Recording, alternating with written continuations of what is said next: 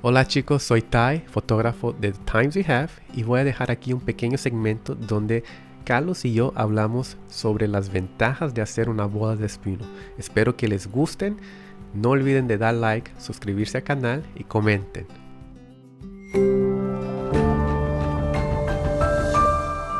Yo no sé si hay ese romanticismo. ¿Tú crees que todavía sigue ese romanticismo eh, sobre bodas de destino, Carlos? Por ejemplo, cuando tú escuchas bodas de destino, tus ojos empiezan a brillar, los fotógrafos empiezan a escuchar un poco más. ¿Tú, sientes ah, que ah, todavía existe esa... esa...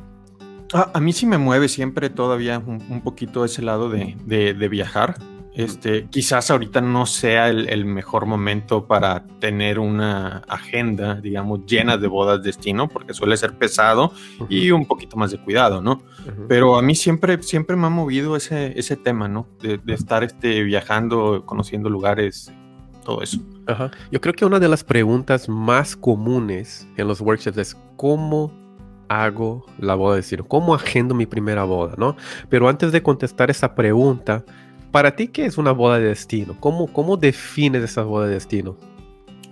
Para mí, digo, lo, que platicábamos, ¿no? Hay dos maneras de verlo, ¿no? El punto de vista del cliente o el punto de vista del fotógrafo. Eh, en, mi caso, para mí la boda de destino es la boda que requiere que o, que implica que yo no duerma en casa.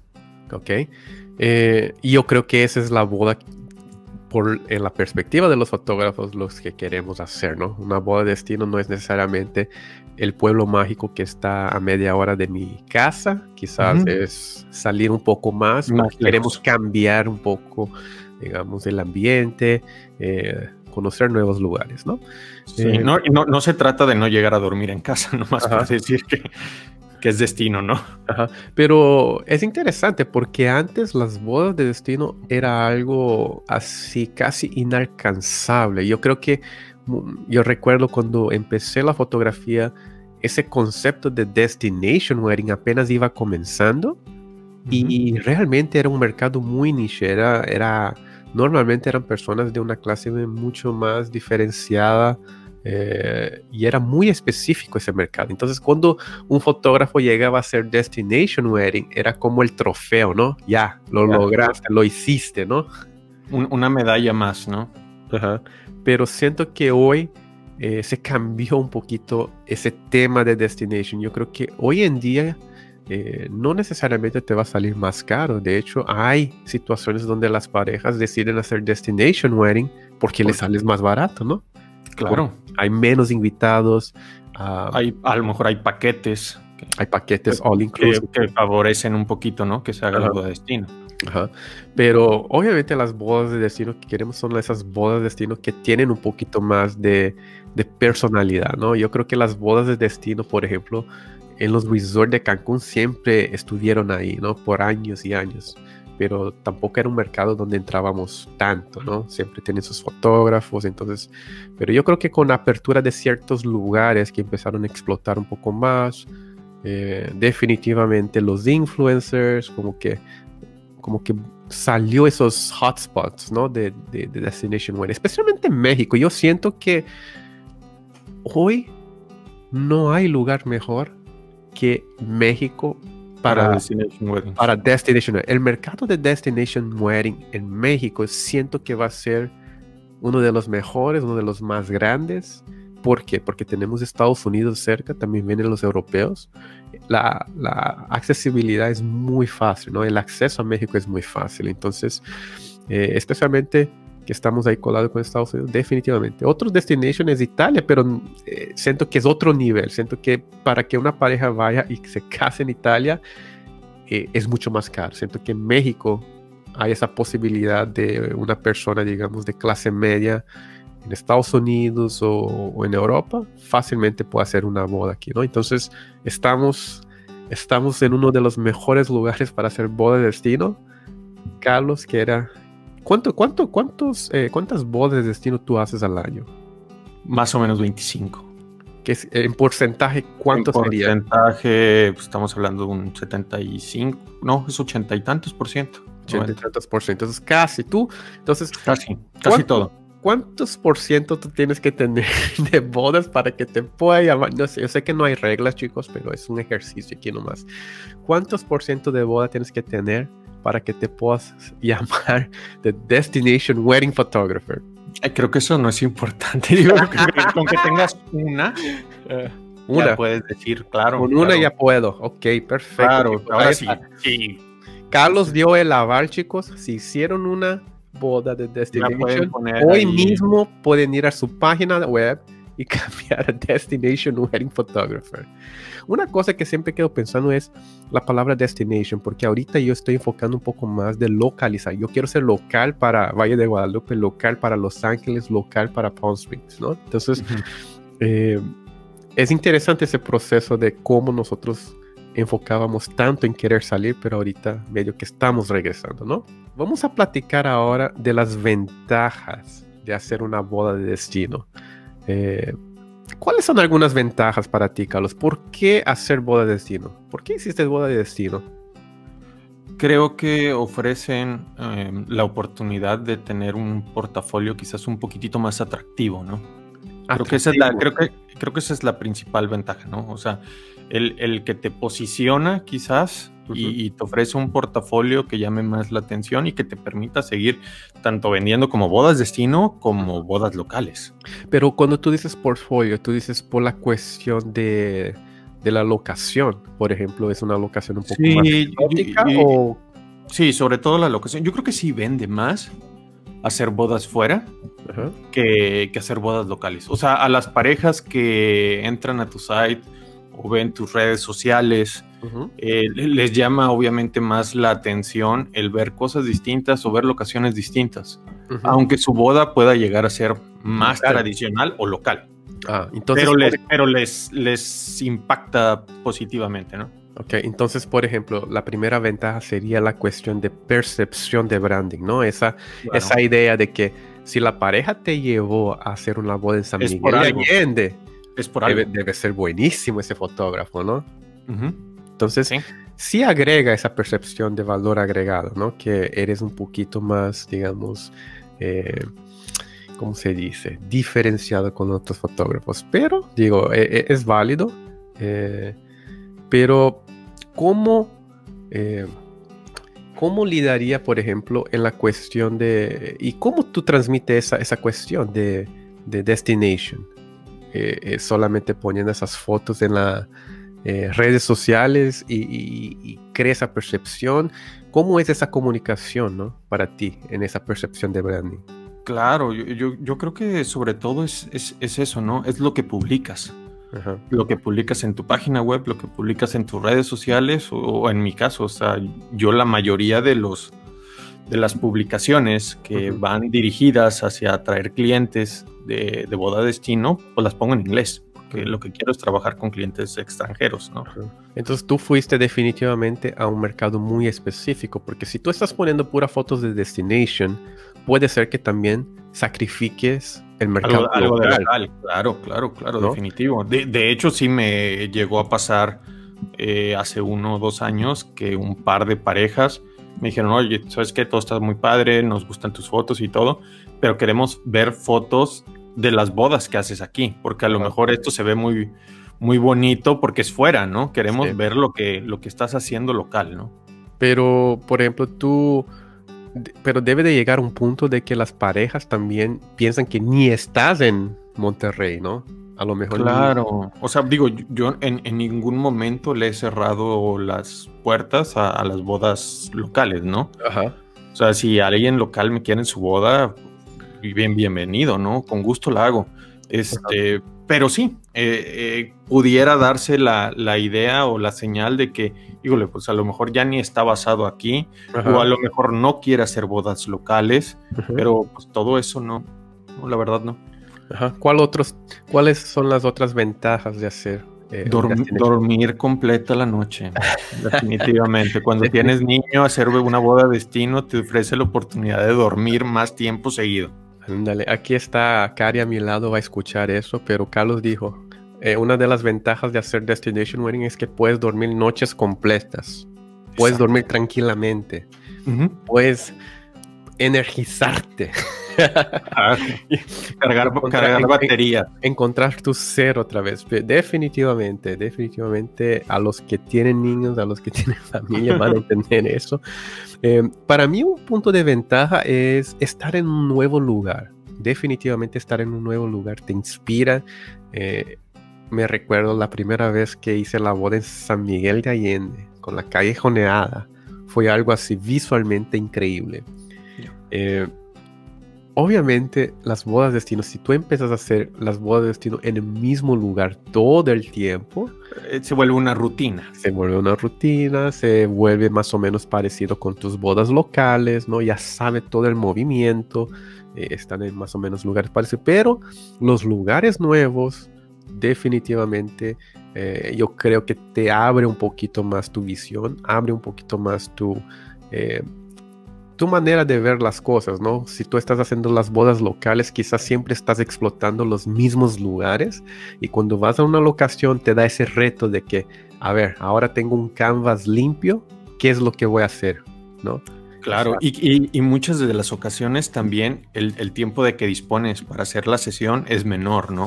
Entonces también, también es un reto de que, ok, tengo que aprovechar este lugar y no tengo tanto tiempo, ¿no? Eh, ¿Cuál es otra ventaja, Carlos? Para mí, definitivamente lo que tocamos antes es, punto número tres, para mí es el perfil de cliente. Yo creo que una pareja que decide hacer eh, una boda de destino, sea la razón, yo veo dos maneras.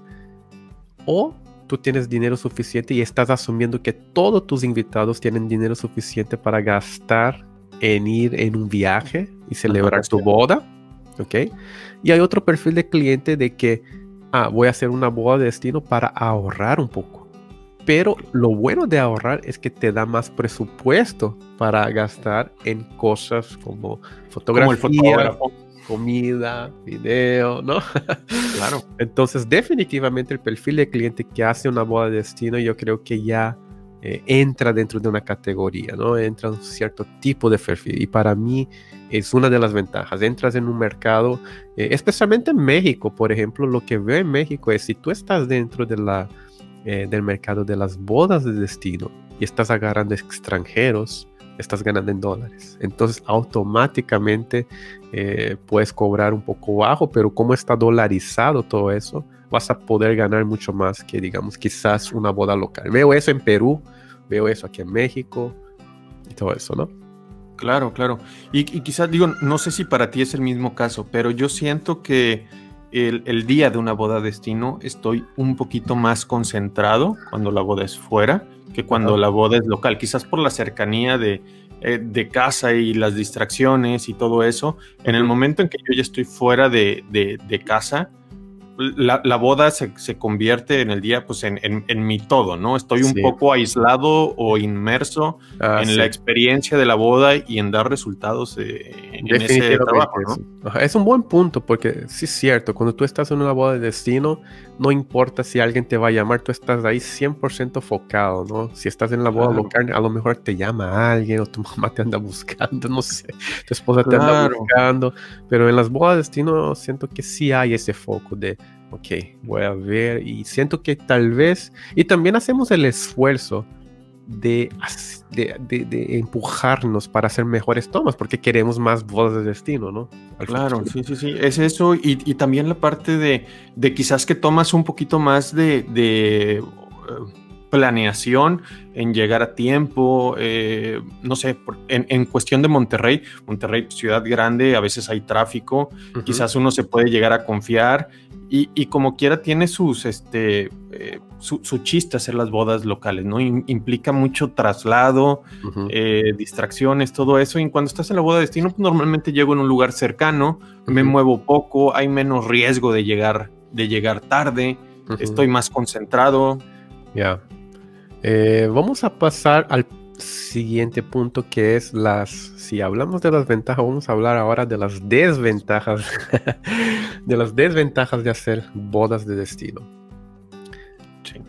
¿Cuáles son algunas desventajas, Carlos? Platícanos, tú que eres... El, tiempo fuera, ¿no? Tiempo, o sea, ya si lo ves por el otro lado es el tiempo fuera de casa. O sea, es una boda en la que muy probablemente vas a ganar exactamente la misma cantidad de dinero pero a la cual le tuviste que dedicar más de tu tiempo. Entonces, si, lo ves en, este, en, cuestión de, de, dinero por, por tiempo invertido, eh, creo, que la ganancia es menor en la boda de destino. Definitivamente. Y es el primer punto que puse aquí también, es el tiempo. Lo que me mata las bodas de destino, chicos, y eso es algo difícil de, de mensurar, ¿no? Pero es el tiempo, exactamente es lo que tú dices. Por ejemplo, a veces tenemos traslados que nos tardan un día para ir, un día para regresar. Tenemos que estar en un lugar un día antes y en el día de la boda.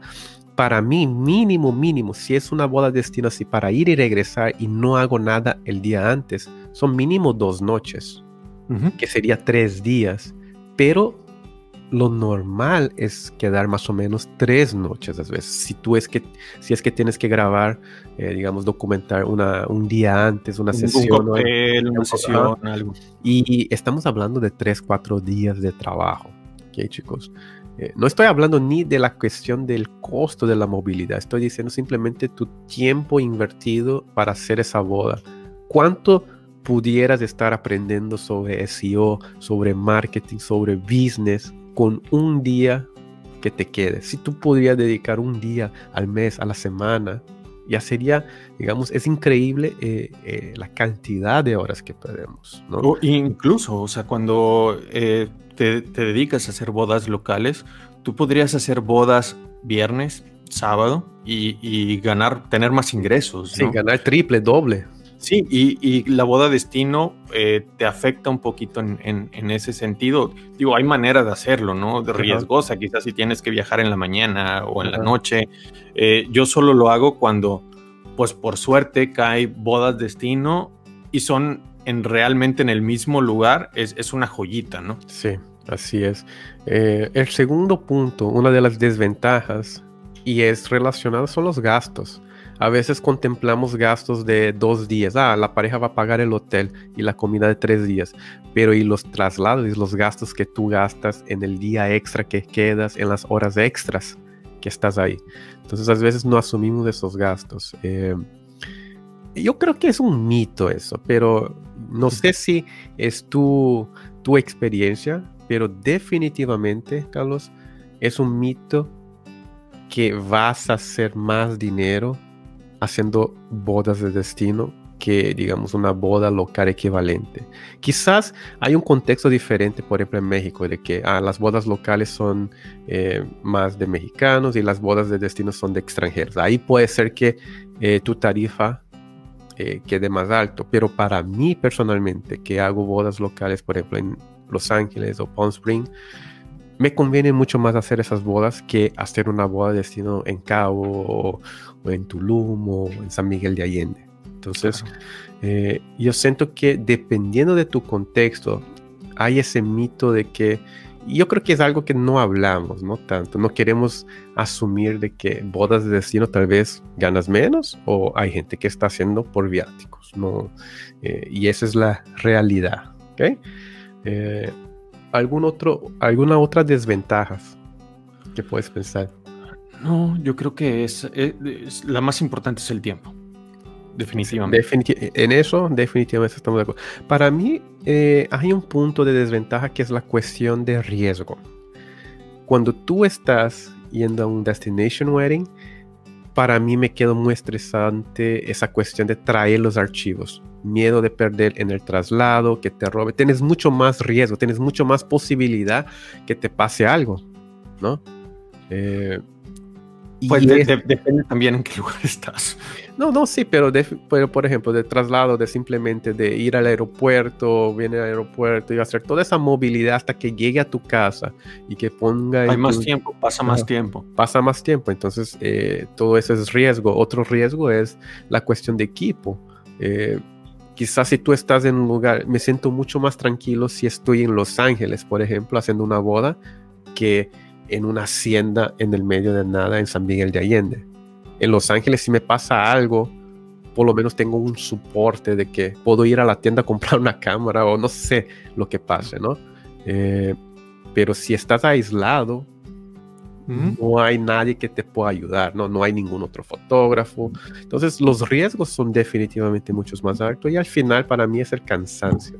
Llegas, son cuatro, tres, cuatro días intensos en la boda de destino, pero llegas a la casa y llegas cansado. Pero ya tienes que agarrar el ritmo porque no puedes perder, ya perdiste los dos días de fin de semana, ¿no? Claro, sí, sí, sí. E, eso es también un, buen reto, ¿no?